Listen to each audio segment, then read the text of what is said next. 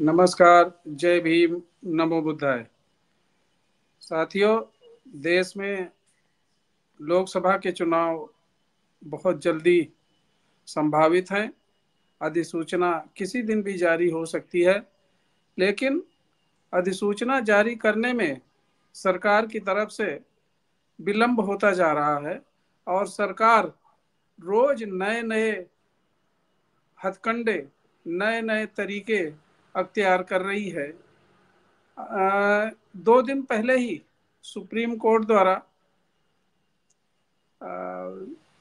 Electoral bond पर SBI को जो फटकार लगाई है और एसबीआई के चेयरमैन के कानों में जू तक नहीं रेंग रही।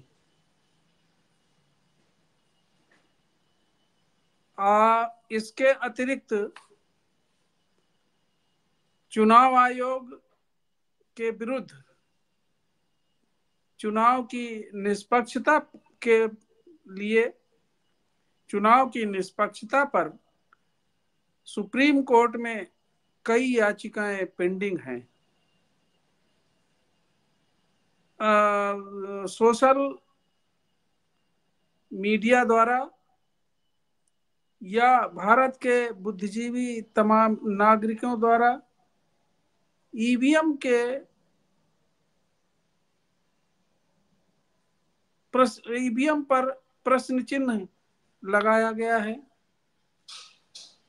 यहाँ तक कि पूरे देश की जनता ईवीएम के विरुद्ध आंदोलित, आंदोलनरत है।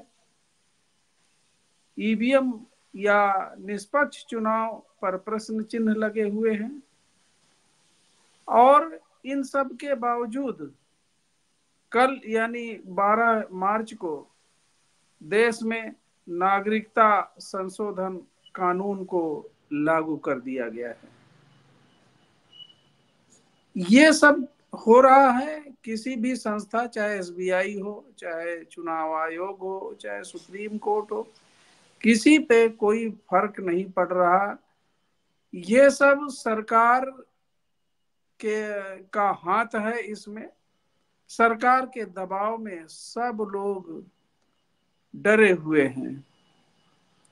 कोई निर्णय नहीं हो पा रहा है। तो चुनाव कैसे होगा? चुनाव भी अगर होगा तो सरकार की मंशा पे होगा। सरकार जैसा चाहेगी वैसा चुनाव होगा। ये बड़ी विडंबना है। देश में संविधान लागू है। संविधान के अनुसार सभी संस्थाएँ, चाहे वो चुनाव आयोग हो, सर्वोच्च न्यायालय हो, सब अपने अपने निर्णय लेने के लिए स्वतंत्र हैं। सरकार का कोई नियंत्रण नहीं होना चाहिए, लेकिन इन संस्थाओं पर सरकार का नियंत्रण लगातार जारी है। चुनाव नज़दीक है। चुनाव की घोषणा होने वाली है। और नागरिकता संशोधन कानून लागू करके बांग्लादेश, पाकिस्तान वर्मा, भूटान या आसपास के देशों में जो भारत के लोग रह रहे हैं, उनको भारत की नागरिकता देने के लिए भारत ने ये कानून लागू किया है। एक अनुमान के अनुसार 50 लाख से ज़्यादा लोगों को नागरिकता दे दी जाएगी और ये नागरिकता ऑनलाइन एक दिन में लगातार जो अप्लाई कर देगा, एक दिन, दो दिन ऑनलाइन ये शुरू कर दी गई है, पहले से वेल प्लान्ड है,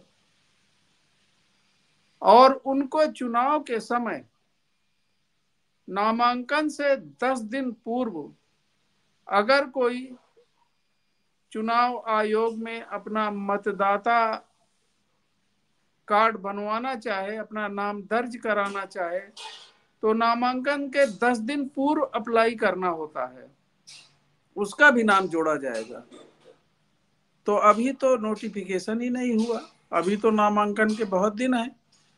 तब तक 50 लाख से अधिक लोगों को नागरिकता देकर और उनको मताधिकार का अधिकार दे दिया जाएगा। ये सरकार की मंशा किस तरह से संविधान और लोकतंत्र को तहस नहस करने पर लगी हुई है? अब तो भारत में लग रहा है, चुनाव से पहले इतना वर्चस्व सरकार का, इतनी तानाशाही, इतना मनमानापन,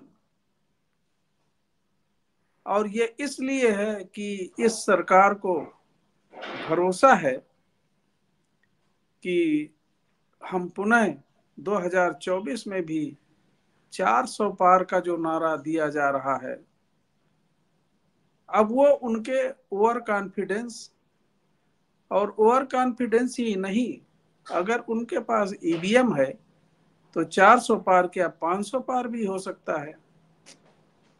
तो ये जो कॉन्फिडेंस है ये जीत का जो दावा है और चुनाव से पहले ही इस, इस तरह की सरकार की अधिनायकवाद तानाशाही चल रही है तो चुनाव के बाद क्या होगा? चुनाव के बाद तो 400 पार का अर्थ भारतीय जनता पार्टी के सांसद द्वारा स्पष्ट रूप से कहलवाया गया सरकार के द्वारा। उनकी मंशा ज़ाहिर कर दी गई है कि हम 400 पार इसलिए चाहते हैं कि हम संविधान को समाप्त कर दूसरा संविधान लागू करना चाहते हैं। ऐसा संभव है अगर 400 भारतीय जनता पार्टी को सीटें मिल जाती हैं, जिसमें विभिन्न धर्म, जाति, संप्रदाय के लोग सम्मिलित होंगे। एक चुनी हुई सरकार होगी। चुनी हुई सरकार को तो कोई चुनौती दे ही नहीं सकता। अगर पूर्ण बहुमत, दो तिहाई बहुमत है तो संविधान क्या कुछ भी बदल सकते हैं? इस चुनी हुई सरकार में जिस संविधान में अनुसूचित जाति, अनुसूचित जनजाति के लिए 131 सीटें रिज़र्व की गई हैं, वो भी सम्मिलित हैं। वो जो बाबा साहब के नाम पे, उन्हें बाबा साहब ने एक संविधान को बचाने का एक हथियार संविधान में ये दे रखा है तो अगर उन सीटों से भी जीत कर लोग बीजेपी में जाते हैं, और बीजेपी कुछ भी करती है तो बुराई क्या है? वो कर सकती है, उसे चुनौती नहीं दी जा सकती। निर्वाचित सरकार है, निर्वाचित प्रतिनिधि, उस संशोधन में या उस संविधान के बदलने में शामिल हैं।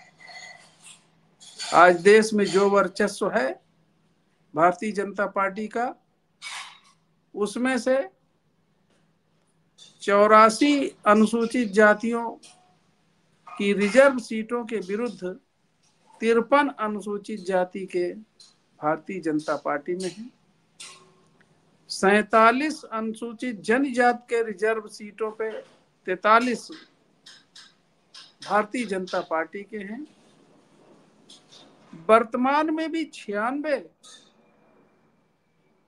लोकसभा के सदस्य भारतीय जनता पार्टी में जीते हुए हैं। तो जो कुछ भी हो रहा है, इन सबकी सहमति है। इसके अतिरिक्त 120 सांसद पिछड़े वर्ग के हैं, चौतीस सांसद मुस्लिम समाज के हैं। दो सौ पंचानवे से अधिक सांसद। संसद में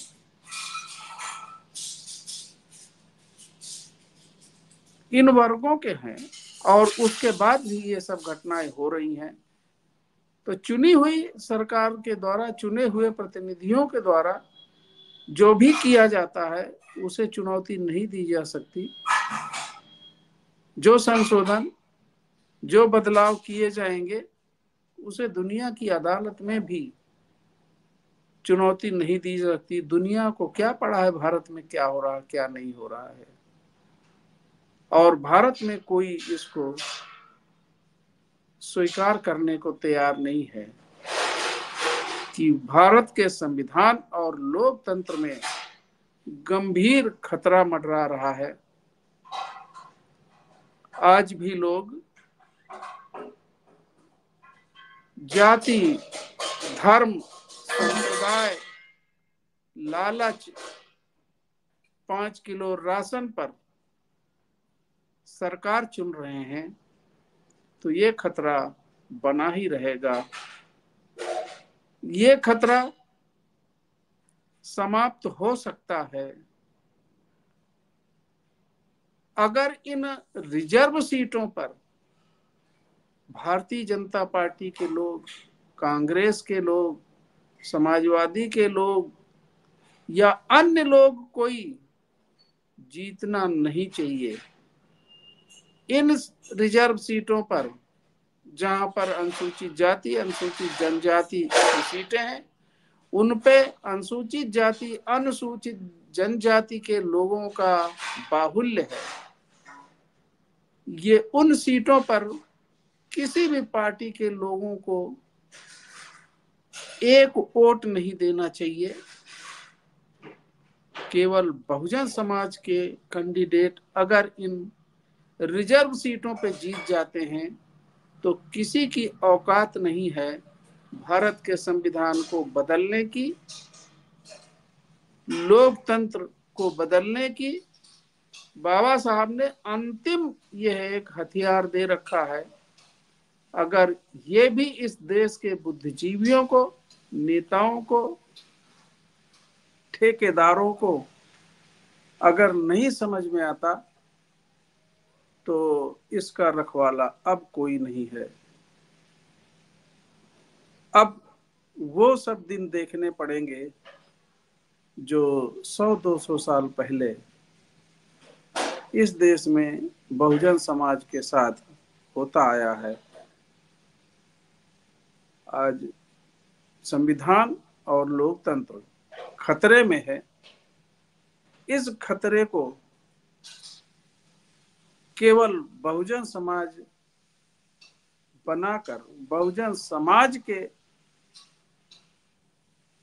प्रतिनिधि, बहुजन समाज पार्टी का नेतृत्व ही इसे संभाल सकता है। जय भीम। नमो बुद्धाय। नमस्कार।